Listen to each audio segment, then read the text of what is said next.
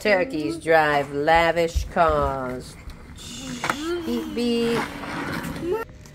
They have their own private aircrafts. Ouch.